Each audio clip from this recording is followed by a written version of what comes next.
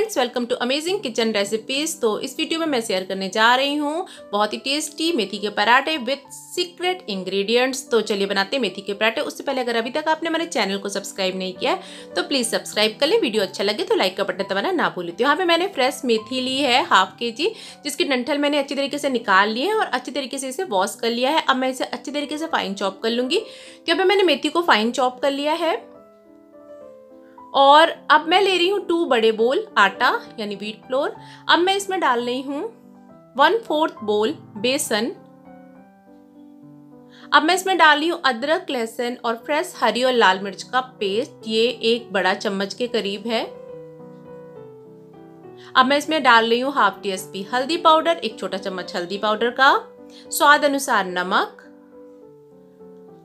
अब मैं इसमें दो बड़े चम्मच रिफाइंड ऑयल डालूँगी। इससे जो मेथी के पराठे होंगे, बहुत ही टेस्टी और बहुत ही खस्तेदार बनेंगे। तो यहाँ पे मैंने ये दो बड़े चम्मच ऑयल डाल दिया और इसे अच्छी तरीके से हाथों से पहले मिक्स कर लेंगे।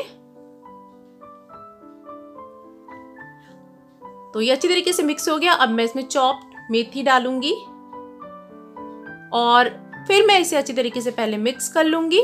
और उसके बाद थोड़ा थोड़ा पानी डाल करके इसका हम डो तैयार करेंगे।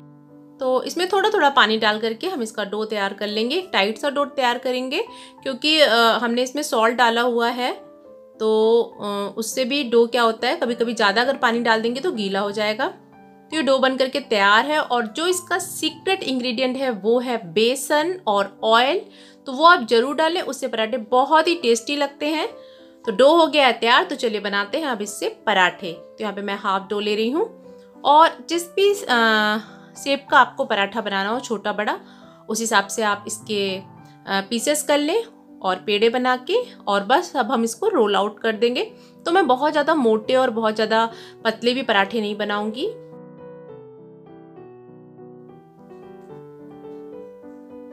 तो बस एक मीडियम थिकनेस के पराठे बनाने हैं।